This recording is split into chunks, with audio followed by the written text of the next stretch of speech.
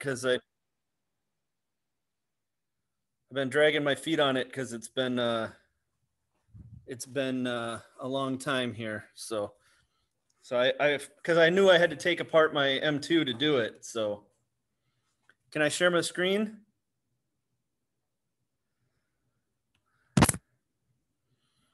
Oh, I don't need to share the screen. I just need to point it at the right thing.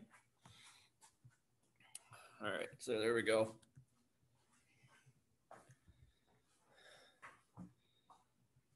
So that's where the uh, M2 was. And uh, I just put up French cleats. I've got a 10 foot ceiling in here, so it's a lot of room. And I only did it up at to a certain point.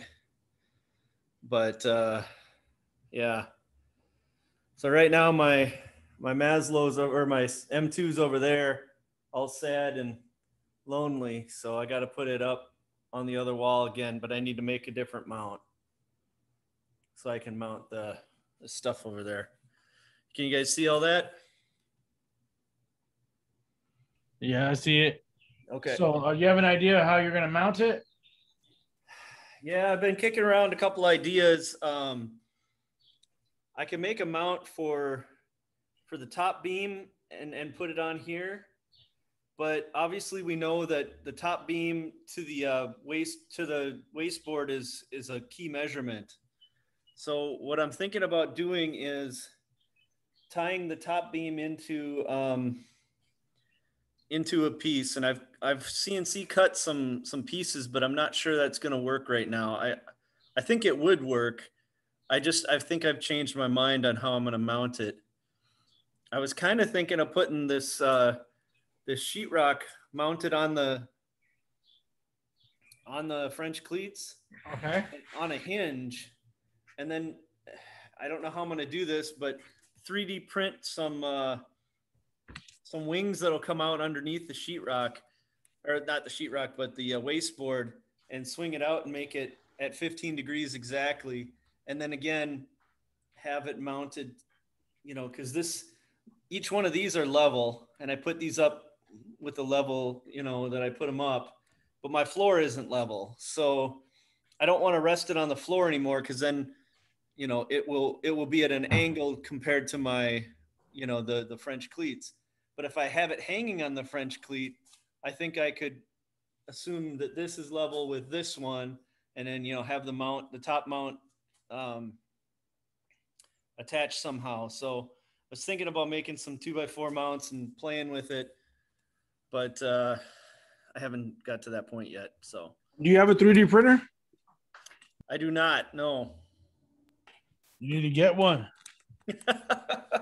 where would where would I get one? Uh, is there is there a company that sells 3D printers uh, I'm not aware of? we got we got we got we got we got a little one. Yeah, yeah, I heard that. I heard that. Yeah. So this is just one sheet of plywood and it went all the way up on my 10 foot ceiling and and uh, I really like the French cleat thing. I've got a bunch of mounts on the other wall. I'll be able to move some of them over here, but obviously the uh, the M2 is going to take up you know a lot of the space a lot of space but i'd be able to move it and then possibly put it on the other wall if i uh rearrange you know the the shop or whatever so yeah so if you rearrange you're gonna want to put more you want to want to put more cleats on the other side i i've got cleats on all all the walls now so there's no other ways so i got a i got a question i'm yep. so i don't have one of these but i'm kind okay. of tuning in to kind of see what's going on and so you mentioned that, you know, there's there's critical dimensions. I get that, um, but and you mentioned your floor being out of level, so you want to basically suspend it. Um, is there like how is is the cat like would the calibration process be able to take out that sensitivity? Like I again, I don't have one of these. I'm just kind of tuning in to see what's going on and Sure. I'm just curious, uh, you know, in my setup, when I finally decide to get one of these, um, is that something that the calibration process would not be able to absorb if you were like out of uh, slightly out of square or out of level? No, I mean, I think it could. Uh, other people can feel free to chime in, but I think uh, I think you definitely could. Um, you know, my floor is not too sloped, but it has a slope towards the front of the garage. Um, yeah, mine mine too. It's right. It's I I put some cabinets. I built some cabinets and um, made a little miter station on one of the walls, and I was shocked. Like I didn't take any measurements ahead of time, but I made just used some carriage bolts as yep. uh, leveler feet, and I was shocked at how much yeah. that pitch was. So I was just I was just curious you know what uh, people a lot of people have garages for their shops a lot of men do yeah no i get that and that's and that's what and i so uh, when, when you're doing the i know when when uh, i knew some people that used to do floors they always had a little slope for the water just in case the oh, water oh, yeah. ever came in you know but as far as that um, the ca- calibration and all that as long as your measurements are correct you know because the the machine only knows what you put in there. Yeah, you right. Know? It only knows the measurements that you put in there, so it knows the calibration of what you put it in there. You know, and if it's not leveled and you're putting your measurements, it's going to be off. You're going to be off a little. You know. So the calibration would not be able to correct for, say, like, say it's an aggressive slope, like five degrees on a on the floor. The calibration would not be able to handle that? Well as long as well as long as you put in the measurements correctly. So if it's if it's unleveled i mean there's no way you there's no reason for you to leave it on, off level. Does that make sense? So you yeah no it, yeah I, no it perfectly makes sense. And obviously i would adjust the adjust the frame uh, to account for that like putting leveling feet and you know some sort of shim or whatever but i was just curious how sensitive it was so it sounds like it you know obviously do do all the due diligence to make it as square and level as I can. Um, I was just curious, uh, you know, how how much that calibration would buy me. You know, how how tight does that tolerance need to be for the calibration still to to account for that? Not not too much. Uh, what are you gonna what What are your plans to if you do plan to get an M2? What are you planning to, to use it with? Uh, so um, most of the I don't really know. So I'm kind of a hobbyist. I have a I have a uh, an X carve that I use for smaller stuff, and this thing looks awesome. You know, I'm I don't have a you know to be able to cut from a full sheet is like oh man that's that's incredible. Um especially at the price point. Like this is like it's it seems like a no-brainer. You know i'm just kind of like salivating over over one of these systems. But yeah, most of the stuff it would be either cutting um, cutting plywood uh, or or I would you know screw like a laminated okay. know, so you're not you're not you're not you're not trying to do like 3D reliefs or anything like that, right? Like no, not at the moment. I'm thinking, yeah, this would be like two and a half D kind of stuff. But... Yeah, because yeah, because it's more yeah, it's more of a 2D kind of thing. You can do a little bit of reliefs, but you have to understand that we don't have a gantry. You know, it rides on a sled, so you yeah, right. No, I that. I get that, and I've I've done a little bit of that. You know, full 3D with the coat, and I I understand that you know you can import the G code or the Grbl, uh, you know, all those parameters in there. And I've seen some videos where people have really done some pretty cool 3D kind of carves using, uh, you know, ball nose, ball nose bit. But yeah, most of the stuff I'm going to be that I'm planning on doing is simply going to be, you know, 2D, 2D kind of stuff. So it really it, the level was probably not that significant. I might be off alignment with grain if I'm trying to do grain as being fully parallel or something. But um, yeah. so you love you like your you like your X carve, huh? I I really do. Uh, but I'm just finding that man, if it was just and uh, it was probably about three weeks after I bought it, they came out with the X Carve Pro. Uh-huh. Uh, that was a full four feet wide. I'm like, oh man, I just bought a little too early. But even the price point for their X Carve Pro, um, it's about more what? than was more than I wanted to buy. So what is it at right now? Like 12? Uh I can't really I don't think it's that high. Um if you buy the full four foot width, I'd have to look at the price again, but they're uh I think the initial, like their first offering, like you know, it was super discounted. They're trying to get early adopters involved and uh-huh. that kind of stuff. But I think the price point for the initial offer was only six thousand dollars, um, which that was that was awesome. But now I need so much floor space for it, and uh, you know, I just I don't have that kind of space that I can give to the to my shop. Yeah, um, and, and, and, and I this don't, I don't have not as fast. Like build also, a build a giant table and then roll it out of the garage every time I want to, you know, do some big assembly or anything. And and I'm also and if I had to roll it out, I'd be beholden to whatever the weather was looking like too. So, um, like this one, you have to um, if you want to cut a full four by eight sheet, you're gonna have to upgrade to the 15 foot chains Mm-hmm. And uh, instead of doing a 10 foot beam, you want to use a 12 foot beam. You gotcha. Know, you can still use a four by eight. You can put a four by eight sheet, but you're not going to get accuracy to all the corners, if that makes sense. No, that makes perfect sense.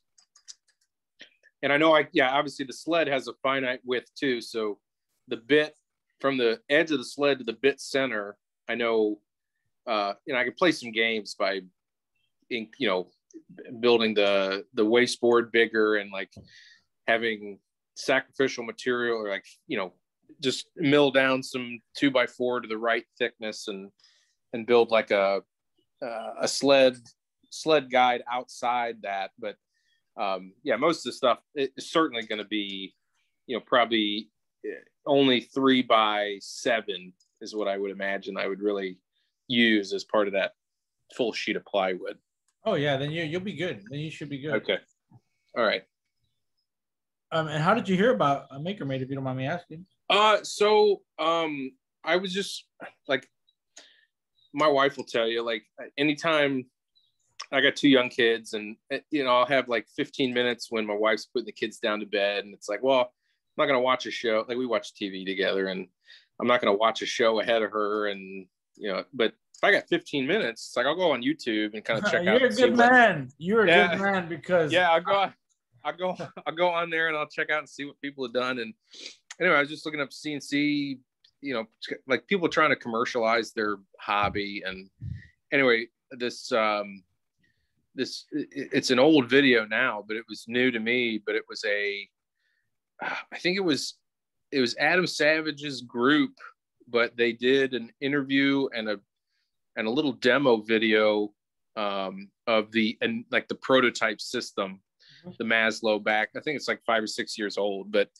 I was like, oh man, this looks super cool, and that is so innovative. Like, uh, you know, I know it's not going to give me thousandth of an inch kind of tolerance, but you know, it's everything's within sander range, uh, yeah. as long as you're, you know, within you know 50 thousandths or something and it seemed like this machine could do that no problem even if it was even if you didn't have like the perfect calibration and and and parameters set but i was like man this is just a cool at that you know that the original maslow i think that's like what a $500 five hundred dollar system. It's I, like, think five ninety five. I think or five eighty five or something like yeah, that. Yeah, it's right like now. man, you spend six hundred dollars. Like I, that's that's t- uh, you know that's ten sheets of really nice plywood, and I wouldn't bat an eye on buying 10 sheets of plywood. So why wouldn't I spend that money on something like this that would enable to exactly. you know, enable me to really kind of turn up the quality and the the scale that I can. And I can see, if with. you're gonna do that, if you're gonna do that, man, might as well spend an extra five hundred dollars more. Exactly. M2 because the M2 right. is forty percent faster. You know, um, uh, Drew actually he's on there. Check it out. Hi, Drew. How's it going? Good. How are y'all doing? Sorry, I'm working. Like he has a he has a couple of our uh our, our machines out there. Yeah, okay. So I think I've set up this one's rework, but yeah. Well, this one's got the laser on and everything. Are you oh, looking yeah, to buy? also have the laser. You looking to buy one? Yeah, that's what I'm I'm thinking about.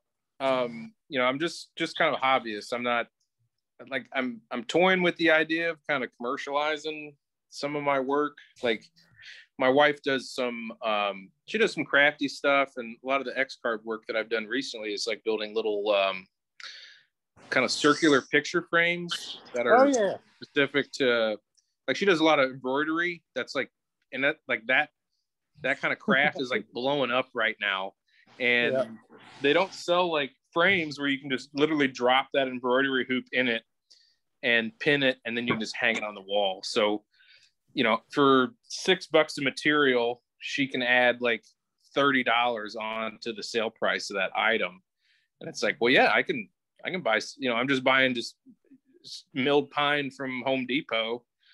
Oh i see that. Yeah there's I had my ex-wife decided she wanted to do a embroidery machine and i spent i think five or six thousand dollars on. I should have bought a commercial one, but I bought that one because it was the Husqvarna touchscreen deluxe or whatever. Anyways, mm-hmm. it, it worked. Yeah, yeah, it would be good to, because the net, they charge so much for the nuts and everything else. It's smart. If, but yeah, everything I have here is pretty much.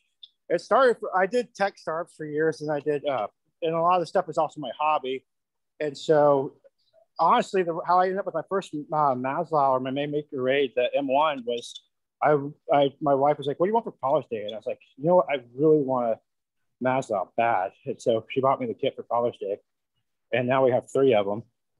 I have yeah, I know. I'm, I'm, I'm, kicking myself too because I was looking at it around Mother's Day, and they had a there was two hundred dollars off the current price I was like, man, I should have just bought it right then and there. I don't know what I why I was dragging my feet. But I think we have another sale going on too. Mike, might get Mike will get something with you. Yeah, you could just get with me, and I can we, we can we can arrange something, and we can do some kind of live demo, and I can give you a little discount.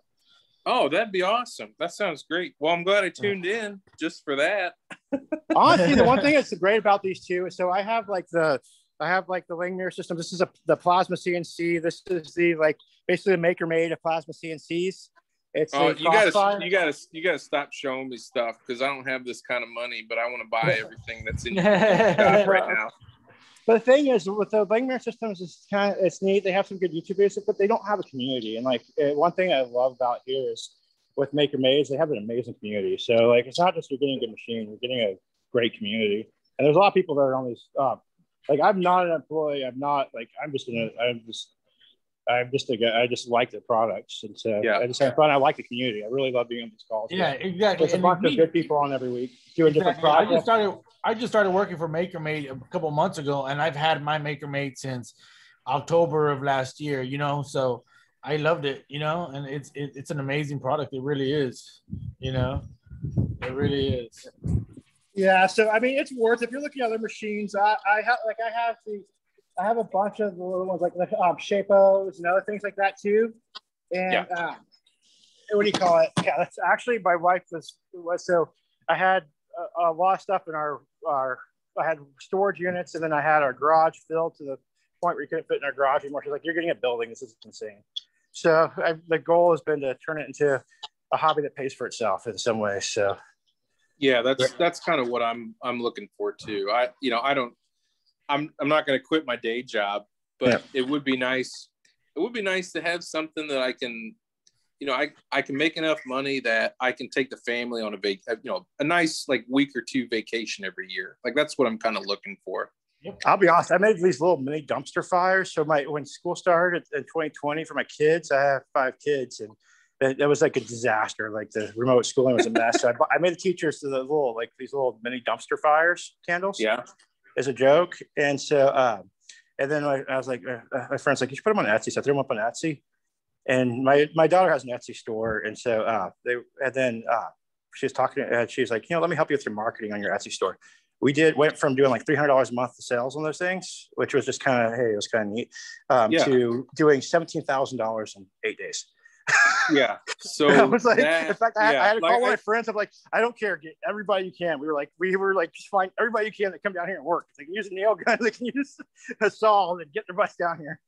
Yeah, I've, I've heard, you never know. I've heard stories. I've heard stories too, of like people like, eh, this is kind of cool, making some cutting boards, and then it's like it literally oh. overnight, like some some link is shared, and suddenly yep. it becomes like, oh man, I can you know, it, you don't ever want to burn bridges, but it's like, man, I could. No, it I didn't last. Just make a living last. doing so it was this. one of those things where it lasted for a couple weeks um, through, um, you know, Black Friday and Christmas, and then uh, it actually lasted a little longer than I thought it would. I figured but yeah, I mean, but you never know. So you may have those things that you get one that works, and you'll find your next one, and you'll find your next one. And, you know what I mean? Yeah. Yeah. So, but it's definitely a fun machine, and there's a good community. That's one thing. It's it's one it's one of the things you won't regret. And you can do the laser. You can put a laser on that stuff, which is nice. Yeah, so what is the what is what is the laser? What is that? What does that enable for you? Um, you can engrave. Yeah, you can do some engraving, like just like. Oh, uh, I I see. You're actually using that as a uh, just as a not a cutter, but like an engraver. I gotcha. He'll, he'll cut thin stuff. Like I mean, I have big 150 watt lasers upstairs up there. God, you uh, got to stop. You got to stop but, uh, but, uh, but, yeah, well, some days it's a nightmare. Uh, but you know, this so this one you could do some cool stuff though. With the one you're putting on there, let's see here if I have one thing I did. Like I was having fun sitting around. I did this. I don't know if you can see that. So okay, yeah. So just yeah, I just was having fun doing with the vector and so you just basically you you take the you take the router out and just mount a laser. It's a sled. Oh, we're I gonna have a sled. We're gonna have a sled. It's gonna have a dedicated sled to your. Um... Oh, y'all doing a dedicated sled? Thank God. Yes, sir. Like yeah, we're gonna. Smart. Yeah, we're gonna do a dedicated sled. That way, you don't have to take off the router. All you literally have to do is just take off the chains and take off the chain right there, and put the other sled on, and that's it. Pop the clips, and that's it. That's great. Yeah, I know. I I, I know. I've looked at people using the um, using the software, and I know there was like a, a button for a laser, and I'm like, oh, they're probably planning some stuff. Yeah, yeah. It, it, it, actually came out on the 15th of May, the the, the uh, pre-sale, so pre-order, so you can order it, and then it starts shipping out, I believe, in the beginning of July, if I'm not mistaken. What? It, so what? What's the this is just the sled, right? We have to we provide our own laser. yeah, no, no, no. This is the sled and the laser and the laser. What's the what's the power of that laser on that? Uh, you have a choice between the 2.8 or a 7 watt. Seven watt. Okay, so still yeah, seven like watt maybe maybe you could cut eighth inch if you make a couple passes. Exactly, yeah. and if you modify a few things and you put some air assist on yourself, yes, you can. You know, but yeah but that's all on you. You know what I mean? It's mostly yeah, yeah, yeah. No, I, I get that. Yeah. I get that. It's actually super easy. It's not too bad. Like I, I, I was, I've been helping him prototype and play with it. So uh, it's been really cool. It, it, but uh, and it's nice because I, I have like the, the big ones have pass-through stuff, but it's if you want a big laser, I mean, it's a, like this thing has chillers and like you're talking about, it's they're a lot they're paying for some of the yeah. no, I, I, get that. Yeah, my so my uh, my wife is always looking at stuff and uh, she's like, man, I can't wait till I get a, uh, a she's the product's called a Glowforge Yeah, and... I've actually got Glowforge is another room. I like them. They're neat. um, they're, they're cool for using. They're definitely cool for projects. They're, I, I they're awesome. If, but honestly, yeah. if you're really looking, she wants to have some fun. Um, look at some of the um, for the price you're gonna pay for a Glowforge you can get some really good light. There's better stuff because Lightburn you can do the same camera function, all that. Mm-hmm. And there's some really cool ones for. Uh, that's the control. That's a that's the control software, right? The yeah. So like, right. Yeah, it's a like uh, we have a uh, the Glowforge Pro, whatever, and it's like sitting up there like, uh, right now because honestly, it's cool for certain things, but it's uh, the other ones. You get nice lasers like the Glowforge. Uh, I think it's like four thousand for the plus. Yeah. And the pro is like five or whatever, and then the baseball is three. You no, get, no, no, no, no, no, no. It's actually uh, Patrick. We went to Patrick's, and he had he actually had a the the one in the middle, and he paid sixty five. Yeah, sixty five hundred for his. Yeah, so and I have I, I usually so there's things one things that made me really like MakerMade. So I have one of the 3D printers and some of the other stuff too. And is so my um my Glowforge died on me, and so I, I've, I've rebuilt a lot of lasers, and I built my own lasers, and I had um, an issue where uh, I went to I uh, I called Glowforge. I was like, hey, and it was right out of warranty, and uh, and there's another company that I had a printer from, and they were I was out of warranty, and they no problems with any boards stuff like that. I called Glowforge, and it's proprietary parts. I mean, it's not yeah. like with these big lasers where I can just go buy a Ruida controller off of Amazon and replace it. And they're like, nope, it's I was like out of warranty. They're like, you just buy a new one. I'm like, well, I don't want to spend four thousand dollars or five thousand dollars on a new one at the time. And I was like, huh. And so they wouldn't they wouldn't work with me. They were just like, nope. And I was like, can I just buy that? Can I just get repaired or whatever? And they're like, three thousand dollars to repair. I'm like, well, it's four thousand dollars for a new machine. And luckily, we had a bunch of media because we were doing uh, the uh, what do you call it? Um, we made ventilators, emergency ventilators. Uh, we do, we volunteered and um, we're manufacturing emergency ventilators, and we were using laser cutters, and they saw our laser cutters, and so they're like, okay, but they still charged me a thousand dollars replacement board for it. I was like, really, guys? A Ruida controller is like, so you can get uh, you can actually get a nice laser like this one with a nice chiller. This whole setup you can get for like three grand, twenty five hundred bucks, and this is a hundred twenty watt, much bigger bed. Wow. Yeah. And you could do the same camera function. And um, so like they do with Lightburn, and Lightburn's awesome. So uh, that's what I'd recommend, honestly. There's things that are cool about the Glowforge. It's really neat, but honestly, for what you can get for once you get used to it, you'll you'll want a big laser. Yeah. I use it for training interns. I use the Glowforge for training interns now. Yeah, that's another thing too. I, I don't ever want to buy stuff like if if I can spend just a little bit more money to get a lot more capability, like I'm always interested in that. Um, yeah, because it's like I know I'm ar- I'm already going to invest a lot of money in something, but if it's just ten percent more, but it buys me double capability, well, yeah, I'm going to buy that. Well, and you can also expand it. Like that's a nice thing. Like all these those big that big red one up there has fast. That's actually off Amazon. Big one red one was off Amazon, twenty five hundred bucks. Yeah, and I've seen some of those like China built systems, and people swear by them. And the the fact that it's like, I, like it's not open source, but it's it's standardized it's, hardware. So they're all like using yeah. You can manage it. You know, you can buy components that are comparable and strap it on, and it works. Like that's well, uh, that's that's that's what so that where all this ties into is the Maslow is really cool because like the laser you can have the laser module you can do your own stuff it's using an Arduino. And so like this laser this is a fifteen thousand dollar laser here. So I got this one because I, I had a friend that actually caught it on fire. The whole thing went up in flames. So I I and I at the time I couldn't get parts. So I literally I bought the chain link off of Amazon. I bought some new belts. I boiled all the uh, metal and redid it. And then on the inside, I just bought new Ruida controllers off Amazon and I rebuilt the whole thing.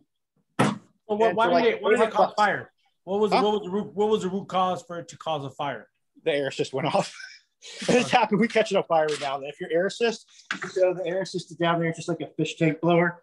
The air assist goes off, and you're running a like this one's a um, 150 watt laser. It's got a big six foot laser tube. Um, you, they they they go up in flames fast. and they weren't, they'd walked away from it. And you can still see all the smoke. I didn't clean all everything out because I was just too lazy to do all that. But I could buy regular steppers. I could repair it easily. Um, the and you can run it for long periods of time because you can just use a standard chiller. Um, but like these are electron microscope chillers I'm just using because I got those at a good deal. But um, but you can use the regular CWs. But the nice thing is later on, like I added this camera, and you can tell my amazing duct tape and hot glue job looks great. Yeah, so you and that's just a uh, and uh, you can there's all these things you can do to it. That, uh, like yeah, you can sell. We've actually caught this thing on fire. I keep burning stuff, but the thing is, if you within MakerMades, the nice thing is it's all like even a 3D printer is based on um, basic components. They've, they've taken it, they packaged together really well and made it super easy to use and built those communities around it. And so you really, it's, that's one thing I like. So if you're looking at that's one thing where it's yes, people the cheap Chinese knockoff lasers. There, there's things with them, but at the end of the day, the Ruida controllers are great. Uh, the all the steppers and the stepper drivers and all those things like that are pretty standardized. So you're not like if something happens, like even my new lenses I have on this one, you just buy the lenses. Yeah. Off of Amazon. So uh, you need they're uh, that's that's what I would look at. But um, the glow for the or what do you call it the uh, the Maslow. I think if, if the cool thing is so what nice too is if you with the M2 they're using Lightburn for the laser function. So if you get an M2 um, and then you start playing want to play get the laser start playing with laser, all the software everything you're doing translates to a, a big laser if you get one of the Chinese lasers. You don't gotcha. change software or anything, which makes it really nice. Yeah. Yeah, and a lot of uh, and a lot of uh, um, people owners that actually um, own uh, M2s and, and regular Maslows can actually use the lasers. You know, all they gotta just do is buy the laser in the mount. Yeah. And you can also do like a spindle, like a water cooled spindle on them, which is cool. Instead of a, a, router later on, you go on Amazon for 500 bucks and buy a water cooled spindle so it's quieter and you can have speed control since the M2 has a PWM control in the back, which is nice. So, hey, Casey. my recommendation get 15 foot chains. The 15 foot chains are worth it. Gives you a little bit extra.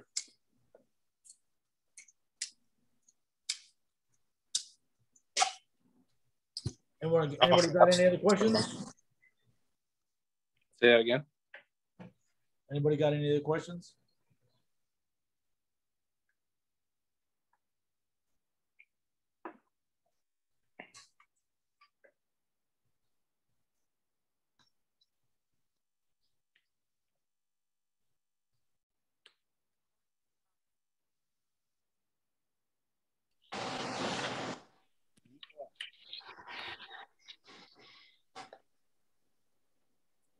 Hey, everybody. Sorry I'm late. I'm just trying to get the garage done. Just thought I'd check in, see how everything's going. Hey, Casey, how's it going?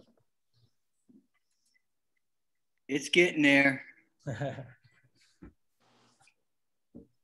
gotta say, this is uh, yeah, it's pretty cool. I um, is this is this typical uh typical meetup every week like this this number of participants or like how active is this uh how active is this forum in this fashion? Um every thursday we have them yeah. Sometimes it'll be like 10 15 people on here.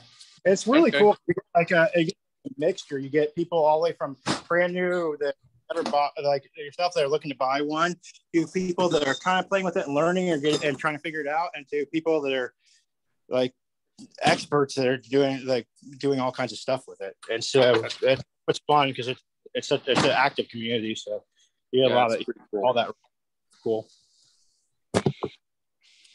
All right. Well, that's uh not that I needed any more any more information to grow my enthusiasm to get one, but that's certainly uh that certainly adds to it.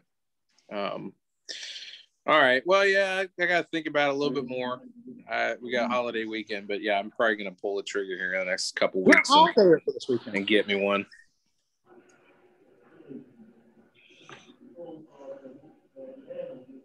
Uh, okay. What holiday is this weekend? Memorial Day. Oh, is it Memorial Day? Crap. Crap Damn. Oops yeah, what what's a holiday anymore with all this COVID stuff, right? Like it's just another day. Okay.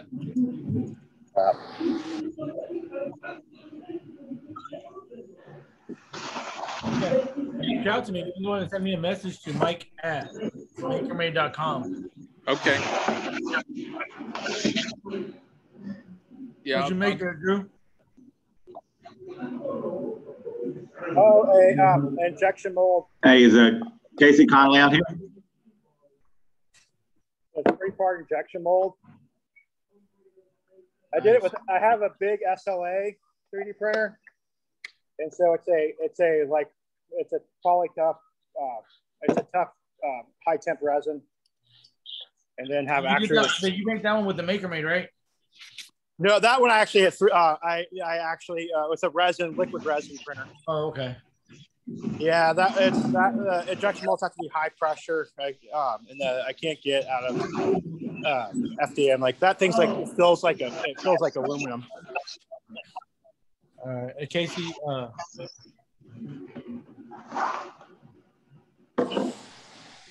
I think Casey's on. Yeah, I'm here, Lauren. Hey, Casey, I was going to ask you, man. Uh, in your videos, I've been watching your two Tankards creation. Um, your did you do a precision uh, calibration video? I haven't yet. I plan on doing it now that I don't know. You guys seen my posts on there? I completely gutted my shop. I mean, yeah, I saw the pictures. Down. Yeah, well, I finally got all the insulation back up, walls up, AC, everything installed, and I just got the I just got the CNC put back on the wall here the day before yesterday. So I'm going to have to go through a complete recalibration here. So I'll probably do a precision whenever I do mine. Yeah, because I I, uh, I tore my machine down with the upgrade kit, which I do love. Um, I was curious if they were ever going to upgrade the upgrade kit with the new system. Uh, I, but the bottom line was uh, for some reason in the calibration second time around, uh, I'm struggling to get it below two millimeters, um, which I know isn't a lot, but you know, as you know, as a perfectionist, you you want it as close as you can. Uh, but then I also noticed that when I rotated my actual uh, sled, that I noticed the bit was moving just ever so slightly. So I think I may have an issue with my router not being dead center. Um, I didn't know because I know you said you had one of those uh, those centering jigs. Yeah, yeah. I didn't know if you had any more available to purchase. Um, what size bit are you using? Uh, right now, I just use it my for when I'm doing my actual precision. I do an eighth inch bit. Okay. It's a quarter inch to cut down to an eighth inch. Yeah, I can probably start getting some printing this weekend uh, I can make you a set of them. I, I have a set of one eighth and uh, a quarter that I, I print them at the same time. So I can probably okay. get, get those running for you if you want here this weekend. Okay. Yeah. I mean, if you get a chance, I don't have a 3D printer. It's a market I'm into in the future, but definitely not right now. Yeah. Um, cause I, I have my, you know, I ain't gonna lie. I was kind of disappointed. My, my upgraded sled came in the mail and, uh, it's a little bit like looked like it got beat up from the factory, but it still works fine. But I'd like, I really wanted, I just, I saw one online kind of like it. I wanted to build like a full plexiglass one. Uh, I saw one of those. I thought it looked pretty cool. Would like to see it and try it. Um, or even yeah, is that laser uh, Drew, is that made out of the boat? Yeah. I did. I did it out of uh, half inch plexi. Yeah. So I, have always wanted to build one of those.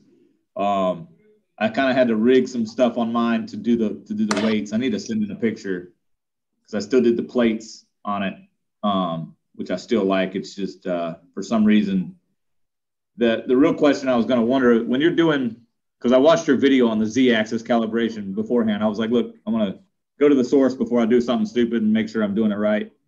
Um, and I noticed like at first when I was doing z-axis, I would go uh, that did just the same way you showed in the video, but I would go down uh, five millimeters at a time, do the measurement, put it in, and then just go down again. Instead, when I realized what got it back to, we quickly got it right through like three or four uh, bracketing measurements was when I went back to zero each time before I went down another five meters or five millimeters.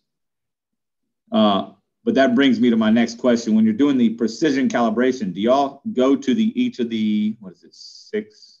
Yeah, the six uh, cuts.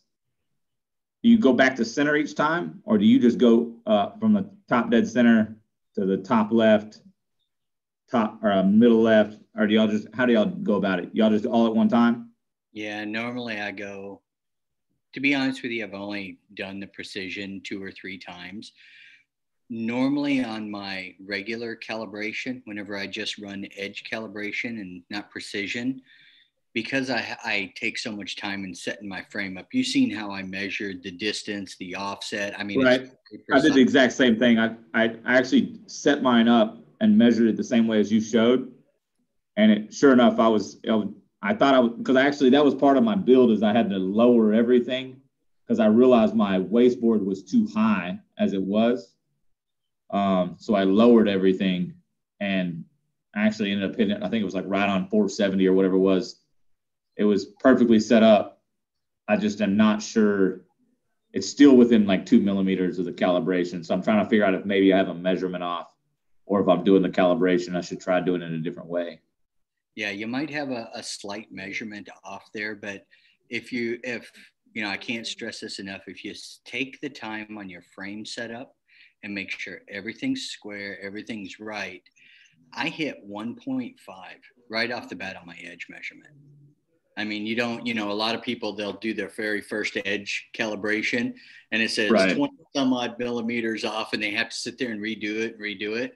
That's because the sled, the software is trying to calibrate to the frame and everything being tweaked.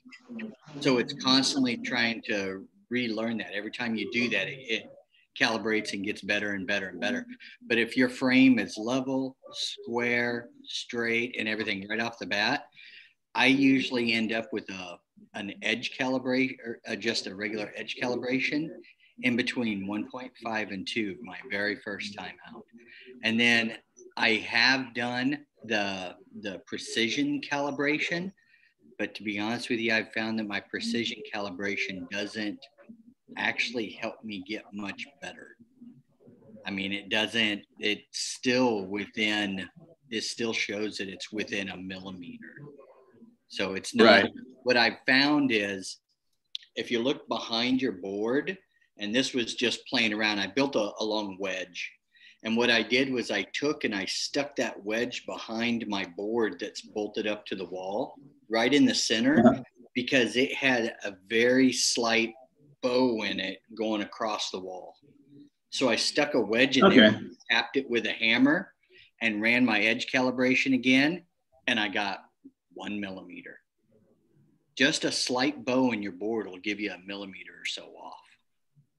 Right. I mean, yeah, when I use my calipers, like one millimeter is so small. Yep. But yeah, just just chasing perfection because as I as I build more projects and I start building more things for customers, I realize a lot of them don't. But when I build it for myself, I, I can't stand it. So Well, Um, Well, one thing I did, if you, is- you're dead right. If you go through that frame, so this one, so this one, that one, I keep, that one's been pretty calibrated, but this one, I did, I did, I redid the precision. I finally got everything. Where I went back and I, the first thing I did, is do the frame, uh, went through the frame, is a little off, and so I laser cut this, and I had to go back over it because I went uh, did another project. I went back over it. If you look in there, I don't know if I can get close enough to see. Let me flip my camera. You can see. So I went back, and it's calibrated so well now that if you look at these lines, you can see where I came back. And let's see if I can get it to go in close enough. But you can see where I, there's a double line in there. It's like a, and you're talking that's like like a sharp pencil width. That's like a, and um, it's how calibrated it is. If you look in that little corner, you can kind of see where the calibration is a little bit yeah, off. okay, I see it now. Yeah, it's hard. It's hard to. But I was, and this is a big thing, and I was able to um, go back, rehome. I fired everything back up, and um, I told it to do the same thing, and it, it was it's calibrated so well now that, like, there's if you there's little bitty spots where you can see, but the the laser went over the exact same spot without a problem, and without uh, even with the thing moving around. Like, there's there's little bitty area where you can see just a little bit of double line. I But again, we're talking that's like a tenth of a millimeter. I can also Yeah. tell you that one millimeter, I know, you know, it's kind of annoying knowing that it's out of calibration, one millimeter, right? But I build furniture grade, you know, flat pack stuff at one millimeter, and I rarely do any sanding on it. I mean, it's so darn close that you can't, you can physically. Oh, for sure. And. So, no, I know. And it, my my only problem was is it was it wanted to stay at like almost three millimeters. yeah, that's too far. Yeah. and that's and that when you build something at three millimeters i get frustrated you know when you you button boards up and you want it to be flush and yeah i just it's a frustrating thing i just you know it's my machine i love my machine you know no other machine is like my machine that kind of thing um, Yeah, but we also, you know, some of the folks, I've had four or five different groups of people roll through here at the Hacienda over the past month or so. People wanting to talk about the M2, people wanting to see it in demo, wanting to help with their units, right? And uh, one of the things that I always stress is, you know, you only need a good enough quality for your customers. And a lot of the folks that build these things, they were doing like uh, what your wife is doing. She build you you cut out the circles and the signs and letters.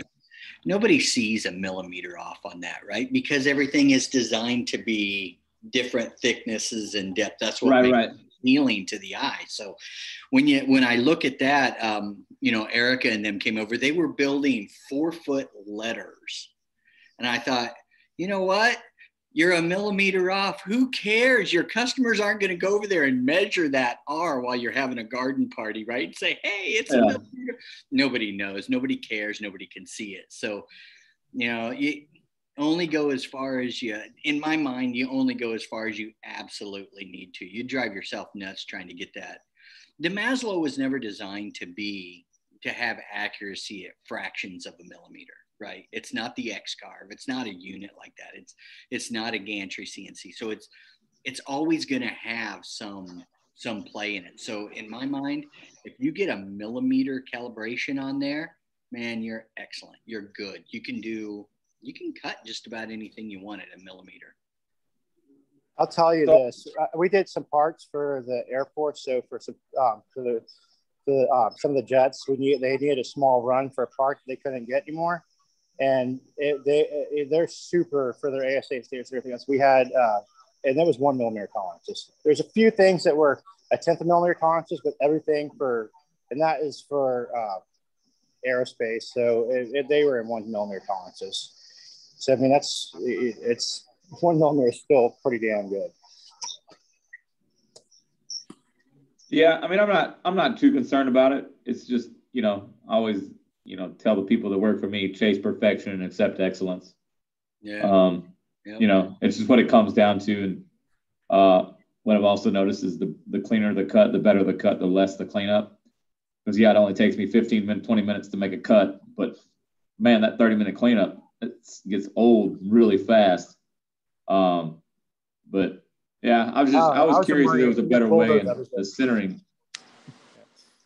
I, I gotta go. Do I'll what? talk y'all later. Have a good one. All right. Hey, Drew. Uh, yeah, Lauren, you rarely hear anybody say my favorite part of my woodworking is sanding. Yeah.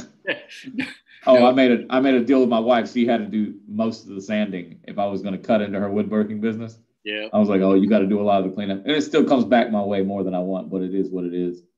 Yeah, but um, I enjoy the job. So the standard things you're talking about, like making sure things are square, making sure your your router is centered in the three inch hole those to me those are key right? If you get those all of those right that's why i made those centering jigs because now i just basically loosen up the frame on the sled put a bit in it put the router in it and i bring it forward. I put that template in it and i lower it down until the bit just slides in the hole and then i tighten up mm-hmm. the frame.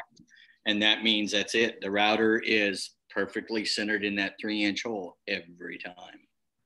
Yeah, because I used a I used a centering jig on my my Ridgid router, and it the problem is the centering jig was too small for the entire diameter hole. Um, so I basically just kind of carefully set it upside down and then use my caliper. But I know I'm probably a little bit off, and that's why when I when I you know shift the jig or the sled back and forth, I can see the bit moving just ever so slightly. And I was just trying to trying to clean that up because I think that'll be a one big thing that, that cleans it up. Um, because even right now I'm less than I'm less than three millimeters. I'm just over two. It's just getting that, getting it as best I can. Um, and I wasn't sure if you'd done any of the videos on it yet because I hadn't seen it on your videos. I went back and watched a lot of them. Uh, just to, you know, if I ain't gotta if I ain't gotta make the mistakes, why why do it? You know.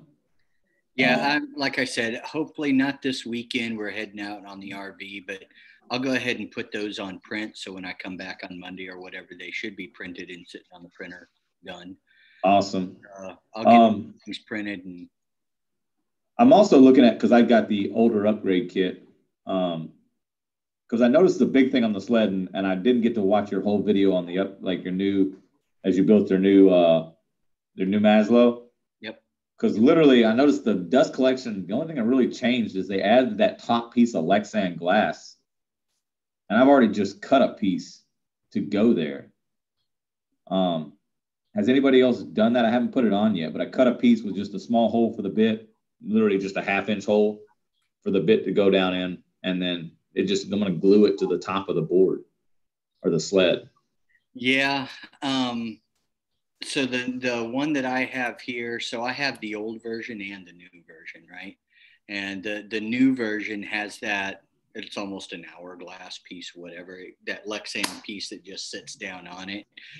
Um, you can glue it to the board. Just remember your board will wear out and you'll have to cut another Lexan piece. But um, Mike is on here. I, I want to say they, they Maker Made made the plans for those free for the sled and stuff. They were, they, I seen it by, God, who was it?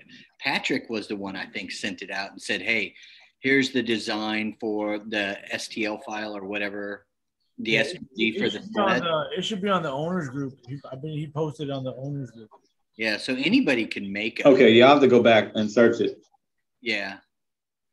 I don't know if it has the the plexiglass component in there, but I mean, you know, it's it's up to you. It, yeah, I, I well, I got tons of Lexan for building custom signs. Yeah, uh, it's just just taking a little piece of it and adding it to the. That's where I just looking at the boards and looking at some of the stuff I've seen on, uh, you know, online was, uh, I thought it'd look really cool to build a, a full uh, Lexan board. Just some of the scrap I have, It'd be a fun little build. I was going to also ask you about your. I got really interested and been really busy last couple weeks. Haven't been able to jump on here. Your new gantry system. Uh, have you gotten to the test phase on that with the the new bearings and the? No, I got your everything. gantry set up. I got everything printed. I got the boards, the frame built. I got the everything done. I got to go down and buy the pipe. I gotta, I'll buy the pipe and install it on my frame. I disassembled part of my frame so I can prep for it. So I changed my skirts on it. But yeah, as soon as I get, uh, I need four pieces of pipe at 10 feet long. And I'll see, uh, it has to be ODM pipe because ODM pipe has a standard um, it has decent deviation in the outside diameter where if you just buy black pipe from Lowe's or even conduit, it can have you know up to two millimeter deviation in the outside diameter. So you can't be using that stuff. It's got to be ODM pipe. But uh, that's what I'm. Uh, there's a place right here in town that sells it in ten foot sticks. So that's what I'm gonna run down and grab some of that. But yeah, it's coming along. So, yeah, you have a Ferguson's. Yes, actually, it is Ferguson's. Yeah. Oh, okay. I was gonna ask you if you had a Ferguson's. Oh, okay. Yep. Yeah. So they sell it there, but like I said, I got all the. I don't know if you guys can see this. Hold on.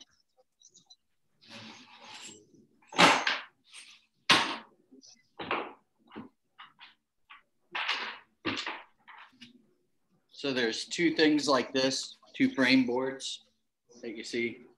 I redesigned these, made them as lightweight as possible. The pipe goes in through these.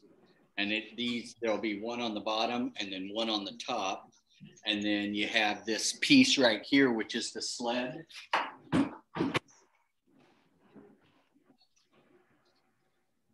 This one right here is what will hold the ring and everything for the Maslow, for the M2. So you'll basically, you'll you'll toss the ring that you the sled that you have that'll all go away but you'll still use the ring and the z axis on this so that'll all that's what these mount holes here are for are for the ring with uh, recessed in the back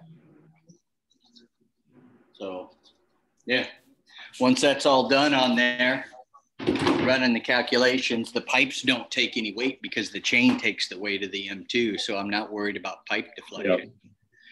Yep. Um, yeah, I, once that's on, uh, I'll give that a run. And I think what I'll do is for the kit, the type of the kit, because people have to buy their own pipe, I'll probably just make the uh, the STL files for the frame pieces free. So anybody you've already got a a Maslow, you can probably cut the top and bottom piece and the part for your M2 where it will bolt onto. And then I'll just have a kit upgrade, which will be the bearings, the blocks, and the pillow blocks. All that stuff is 3D printed. So I'll just have those, they'll be for sale in a kit. And then you'll just assemble it yourself. So I'm, I'm gonna I'm gonna jump in just for a second. The um, so I don't have one of these yet. I'm just kind of toying around with the idea of of getting one, but you made reference to uh, videos that you've published. I don't know if you have. I don't know if you can provide like a link to where these are, or or direct me to where these are. I'm I, I, again. I'm I'm in like sponge mode, so I'm absorbing everything I can, trying to be an informed consumer. Uh, but yeah, I'm definitely interested in seeing what what you got going on, and uh, you know, obviously getting getting higher precision out of the out of the cuts that I do. I'm interested in that too. So I don't know if you can like drop a link in the chat or or uh, give me some give me some advice how to find your content. I'm interested in in looking at that. Yeah, they're all on YouTube. Just look up. Oh, okay. Look up two, the number two, and then Tankards Creations. Two Tankards Creations. Okay. Casey will Casey will put it right now in the chat. Yeah. Okay. Thanks.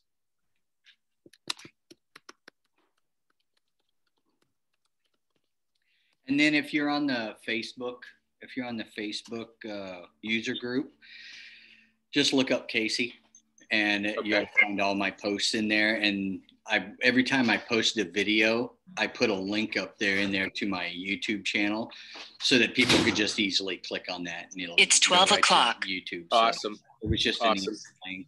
Yeah. Yeah, and it'll just yeah, and just like and subscribe. That way, whenever he posts no, um, new videos, you can get your notifications. Yeah, for sure. All right. Thanks. All right. Well, I'm gonna I'm gonna dial up. Yeah, I really appreciate uh, you guys putting this on. I uh, you know not being a not being an owner, this definitely makes uh, again the interaction I see on this is all all good stuff. So makes me a makes me a pretty um, you know makes it makes it less of a less of a risk when you got such an active community. So anyway, thanks guys. I really appreciate it, and uh, maybe I'll see you next week. And Mike, I'll uh, I'll probably send you an email next week and see. I know you mentioned maybe some uh, maybe some uh, you know a quote at a different price or whatever. But yeah, I'll reach out to you. You said Mike at makermade.com.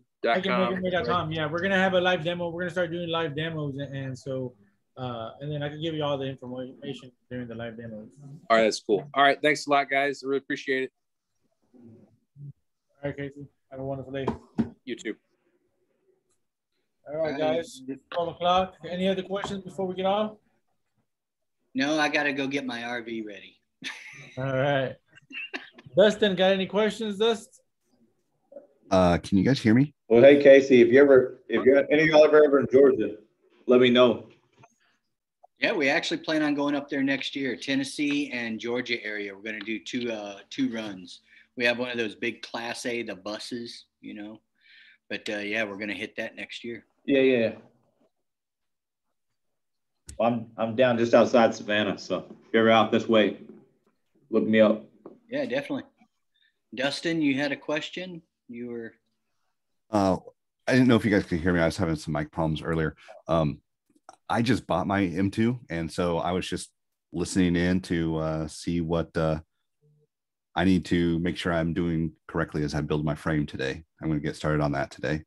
Um, but it sounds like I got to make sure everything is as square as possible. Yeah, the the important part, you know, assembling the frame with the two by fours and then putting your ply on there. Uh, I use MDF for my backer board. Uh, it's you know people call it the spoil board, the weight board, whatever. The an MDF piece like that is actually an inch longer and an inch wider than a standard um, four by eight sheet of plywood. So I like to use that, knowing that any plywood I buy afterward to put on there will fit. So I use a, it's the larger backer board, but use that. It's, they're always square. They're very, really rigid.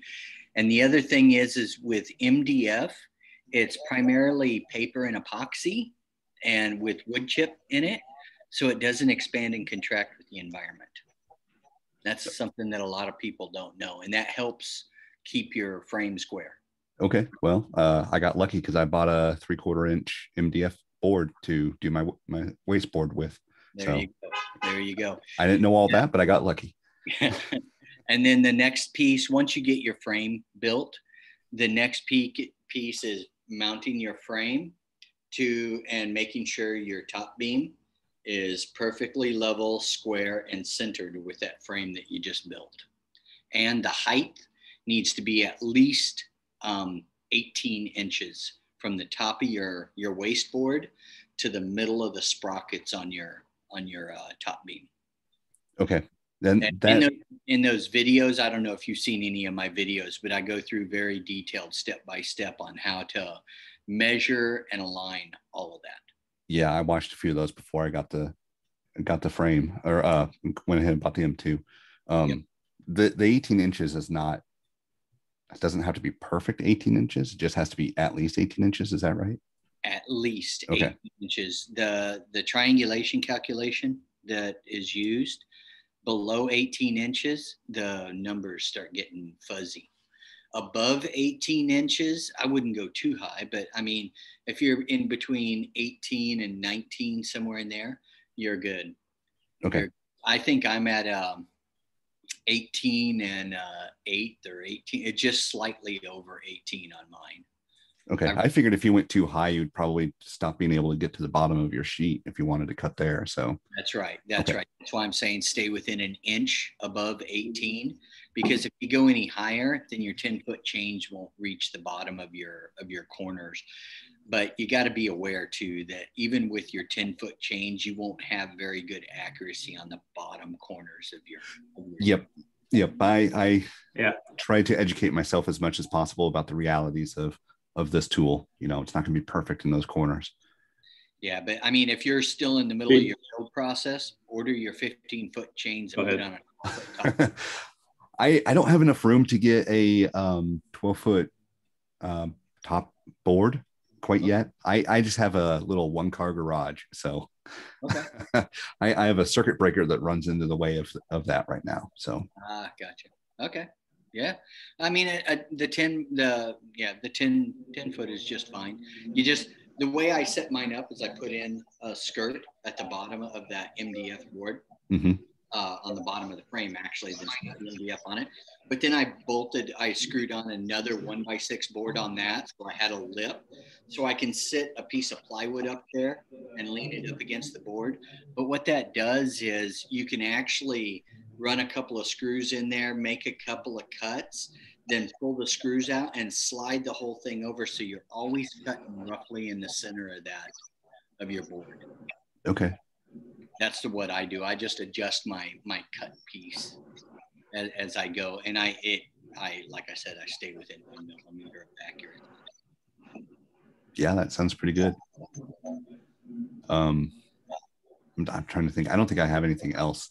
like I said, I've got the box. I've been waiting for the rain to stop, and today it finally stopped, so I can finally get out and try it. Um, I, I'm sure I'll have lots of questions after I get into it. Yeah. Yep. All right, folks. That's all I had. Anybody have anything else, Mike? Oh, we're good to go. Anything come from your guys' big meeting that you had up there? You guys were putting on Facebook? Nothing yet. Oh man, you just went up there and drank a lot of beer and did nothing, didn't you? Yep. Nah, I got to know the know everyone and we had a good time and we talked about a few things that we're launching. So, but it's uh it's up in the air. So Good. All right, folks. That's all I had. all right, guys. We'll see y'all next week. Yeah. Thank you very much. See you later. right, bye. Bye.